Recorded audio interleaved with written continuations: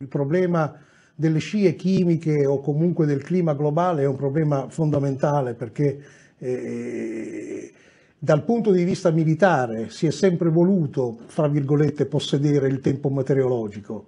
e lo studio del 1996 era in effetti uno studio preliminare per avere l'autorizzazione la, a condurre degli studi per fare in modo che entro il 2025, secondo delle tappe ben precise, ma entro il 2025 si potesse eh, eh, controllare il tempo meteorologico in zone localizzate ma abbastanza ampie in modo da permettere le operazioni militari. Intanto la guerra ambientale non è che sia una cosa che debba ancora avvenire, sotto certi aspetti è già cominciata. Se noi mettiamo, eh, diamo per scontato che eh, la modifica dell'ambiente, dell'ambiente meteorologico o comunque dell'ambiente naturale in determinate zone è un fattore di potenza, è così anche un fattore di guerra, quindi deve essere considerato. Guardi, non è che i romani erano matti perché dicevano che dopo aver distrutto Cartagine dovevano seminare sale su tutto il, il territorio lì non sarebbe nato più niente, per cui questo era già un tipo di guerra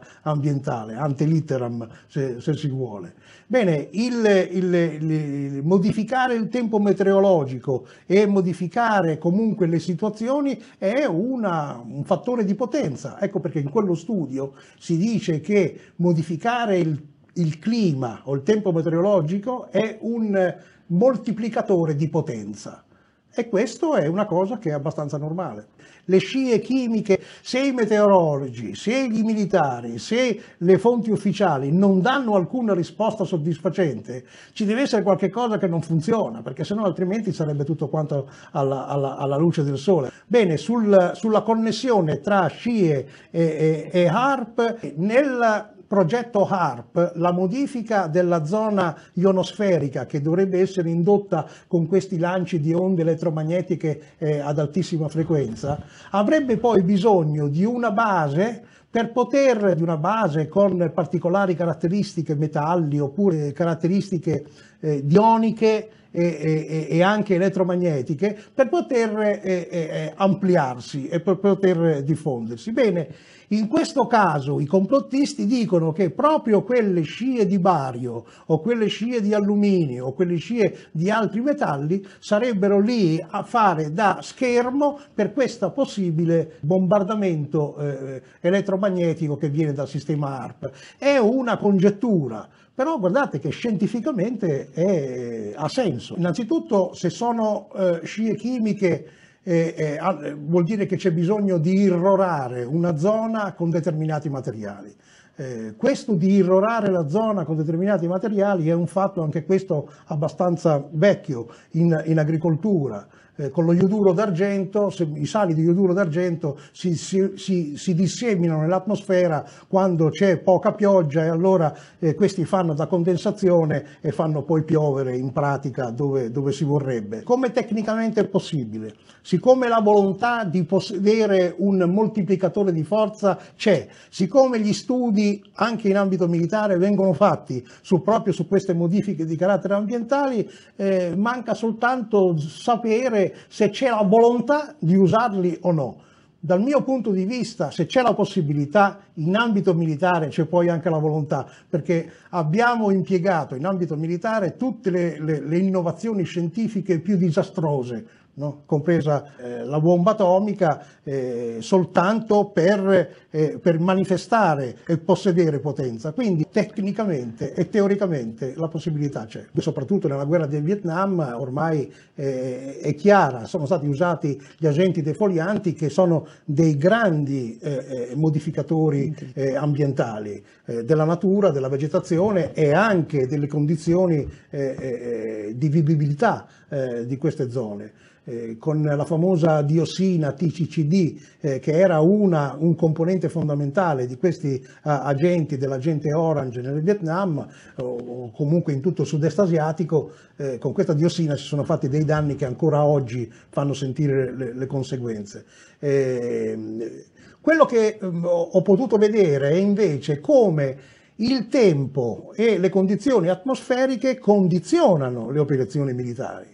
Guardate che eh, noi abbiamo cominciato la guerra in Kosovo nel 1999, doveva durare la campagna aerea due settimane, è durata 78 giorni e la maggior parte di questo ritardo e di questo allungamento delle operazioni è dovuto alle condizioni atmosferiche che non permettevano il volo o determinate missioni aeree. Quindi quello che sta nella premessa, è scritto nella premessa dello studio di, degli americani su Owning the Weather, è una frase che è, è, è, è, dentro, è un pensiero che è dentro la mentalità di tutti i militari. E il fatto è questo, il tempo meteorologico può essere un nemico delle nostre operazioni. E allora bisogna fare in modo che questo nemico venga battuto oppure venga uh, aggirato. Questa mentalità che è una mentalità prettamente operativa, è ormai diffusa dappertutto. Per cui se qualcuno mi dovesse chiedere se ci fossero le capacità e le possibilità eh, pratiche per modificare il clima, sarebbe anche un, eh, eh, uno strumento di guerra? Io rispondo de determinatamente di sì, perché noi militari se abbiamo uno strumento e abbiamo la cognizione, come in quel caso, che ci sia un nemico da battere, e, e questo strumento può battere quel nemico, noi lo usiamo immessi nell'aria, nell'atmosfera di questi agenti praticamente velenosi, ci sono delle conseguenze sulla salute delle persone, salute non necessariamente fisica ma anche mentale, perché ci sono degli agenti che poi eh, fanno l'utilizzazione di determinati strumenti, non necessariamente HARP o scie chimiche, ma altri strumenti, come le esplosioni controllate, possono favorire e possono innescare degli tsunami. Il, lo scienziato Leach, neozelandese, nel 1946 lo fece proprio, praticamente, eh, fece, eh, provocò una serie di piccoli tsunami controllati al largo della Nuova Zelanda proprio per dimostrare che si poteva fare. Quella volta lui usò delle cariche esplosive messe nel fondo, nel fondo marino e queste cariche esplosive erano di esplosivi eh, praticamente eh, tradizionali, tritolo, pentrite. Oggi abbiamo a disposizione centinaia di migliaia di ordigni a fissione, cioè piccoli ordigni nucleari, piccoli ordigni atomici che praticamente non servono. Per cui qualcuno gli potrebbe anche venire in mente che invece di prendere una tonnellata di tritolo e portarla giù sotto il mare, perché non prendiamo un chilo di quest'altra cosa e lo, e lo, e, e lo buttiamo nel, nel mare? Eh, mi risulta che ci siano delle compagnie petrolifere o delle compagnie di studi eh, sismografici che vogliono simulare proprio dei terremoti in modo da vedere come le onde eh, eh si trasmettono nel fondo sottomarino oppure anche sulla crosta terrestre. Eh, non vorrei che gli venisse in mente di usare eh, piccole bombe atomiche per queste perché veramente allora lì si potrebbero anche innescare delle conseguenze che, che, che, è meglio non, non, non, non pensarci.